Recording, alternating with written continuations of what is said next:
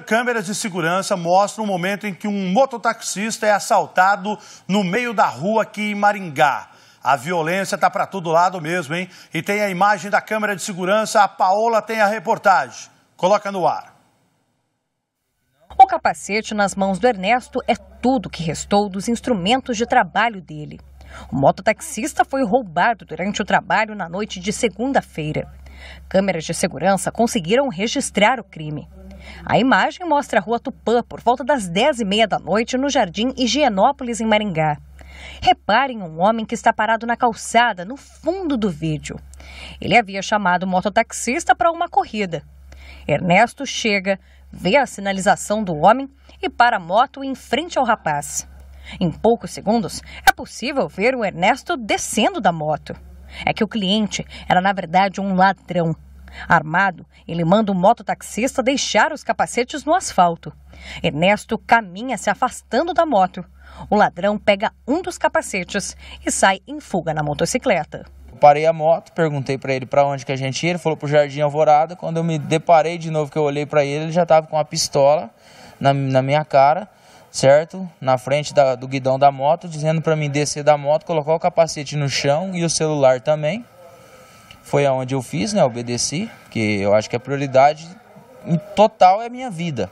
Moto, deixei ele levar a moto numa boa, mandou eu sair para a rua de trás. Eu saí andando, andei uns 12 passos mais ou menos. Ernesto conta que havia acabado de refazer o motor da moto. Parcelas do serviço ainda serão pagas por ele por mais dois meses. O prejuízo é grande. Eu, o único meio de trabalho que eu tinha era trabalhar de mototáxi à noite, e aí eu acordava, eu ia de manhã cedo para casa, comprava o meu pão na padaria, chegava em casa, dormia um pouquinho, porque eu também estava fazendo entrega de marmita na hora do almoço. Né? Porque hoje em dia a gente tem que se virar nos 30 para pagar as contas. E eu tenho um monte de conta que vai chegar daqui uns dias, eu vou pagar com o quê? Eu vou, vou, vou sair roubando igual ele? Não vou fazer isso aí. Não justifica roubar ninguém sabe? Cada um tem que achar o, melhor para fazer, trabalhar, igual, eu estava fazendo. Mototaxistas e motofretistas que já tomaram conhecimento desse roubo estão preocupados. Eles temem que não seja um caso isolado, que esse crime possa voltar a acontecer aqui na região. É que, segundo eles, há pelo menos cinco anos, nenhuma ocorrência desse tipo era registrada por aqui. Outra câmera de segurança conseguiu registrar o ladrão com mais detalhes. Ele é o homem de cavanhaque, moletom vermelho escuro e calça jeans que aparece no meio da rua.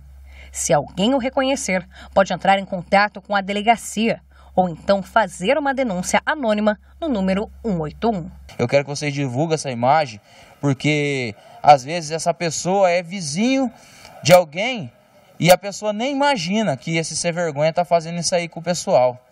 Às vezes eu não sei se eu vou conseguir achar minha moto, porque até agora eu não consegui. Mas a prioridade eu acho que é manter, pegar um sem vergonha desse aí, um safado fica roubando pai de família, trabalhador, e colocar atrás das grades, para onde, da onde ele não, não deve, se ele já foi preso, ele não deveria ter saído.